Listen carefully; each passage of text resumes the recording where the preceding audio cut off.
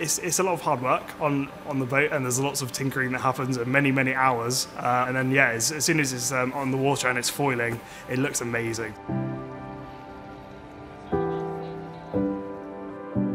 Solex is the University of Exeter's solar boat. We've been testing it and racing it sort of all around the world to really emphasise the importance of solar maritime travel.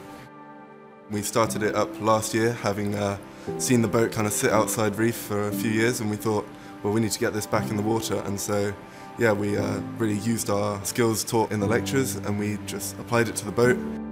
We were last year able to completely refit all mechanical and electrical systems on board, taking the boat from a non-functional state to racing it for the first time in five years.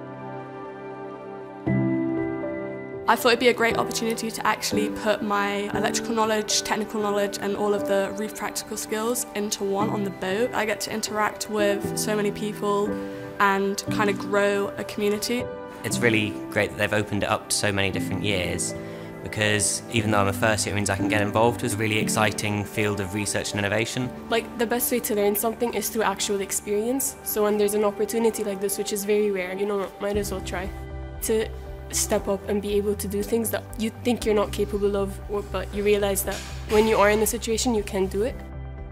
We're all working together to try and improve the boat Last year we raced in Monaco. Going to Monaco was great. It was definitely a once in a lifetime experience for sure. Seeing our achievements, seeing the boat work, seeing it get on the water, seeing it race, even despite everything um, being hit. What? We still managed to compete all three days, which was, yeah, truly amazing. Our competition is very exciting. Also being part of the international community around the solar boats is, is really fun and there's, there's definitely a community spirit, seeing everyone from all the other universities competing together in a sport that we're really passionate and love. The goal for this year is the Ultimate Solar Boat Challenge in the Netherlands. The opportunity to race in the Netherlands is really exciting, spanning over three days, following the boat through old canals and reservoirs that would have been used for ice skating when it froze over. That long journey would be awesome.